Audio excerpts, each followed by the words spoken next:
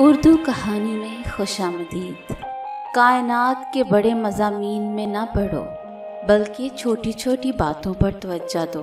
उसको राज़ी रखो जो हम सफ़र है, चाहे वो हम ख्याल ना भी हो। नफ्स को उकसाने का अमल आँखों से शुरू होता है। लिहाजा अपनी निगाहें नीचे रखो। हमें बहुत ज़्यादा इल्म के मुकाबले में थोड़े अदब की ज़्यादा ज़रूरत है। जिस इंसान में ज़ाती सिफात ना हो, वो अपने लिबास से लेकर अपने मकाम तक अपनी हर चीज़ की तारीफ़ चाहता है। हम आराम की आरज़ू में बेआराम हो रहे हैं।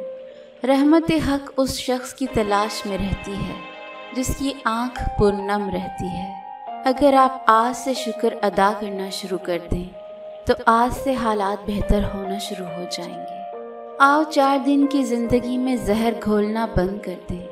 और अजियत लेने और देने के अजियतनाक अमल से तौबा कर। लें एक दूसरे के हकूक़ के एहतराम से ही माशरे में क़याम पैदा होता है। अल्लाह के खौफ से वो काम अपनी ज़िंदगी से निकाल दो, जो अल्लाह ताला के खौफ का सबब बनते हैं। दो मंसूबों पर काम यकसुई से महरूम कर देता है, और यकसुई के बगैर अरूज हासिल नहीं होता। लोगों से अलग रहकर सोचोगे तो लोगों से अलग सोच मिल जाएगी। असल बादशाही यही है कि आपके पास सबसे बड़ा इल्म हो और आप अपनी ज़िंदगी सबसे कमज़ोर आदमी की तरह गुजारें।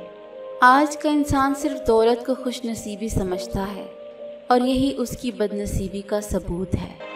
ये ना पूछो कि वो हक से क्यों महरूम हुआ।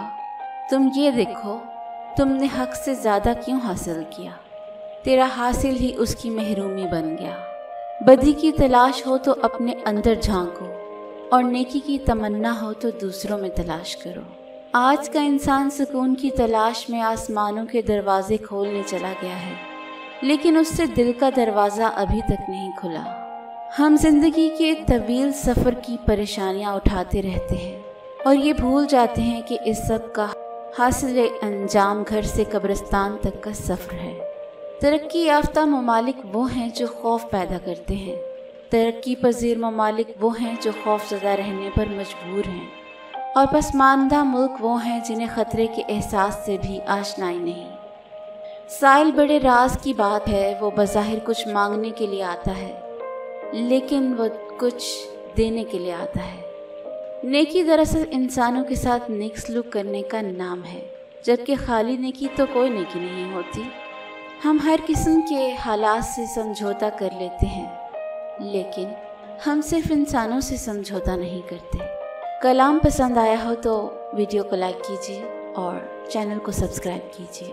अपनी राय कमेंट के ज़रिए दीजिए। शुक्रिया।